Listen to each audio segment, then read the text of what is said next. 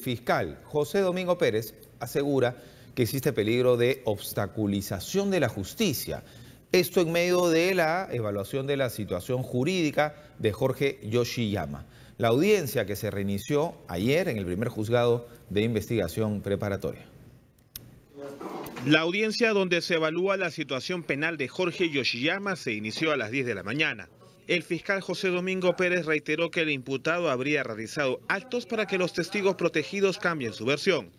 Ha habido amenazas y precisamente el Ministerio Público está pidiendo este requerimiento de prisión preventiva, pero las amenazas vienen precisamente de los integrantes de esta organización.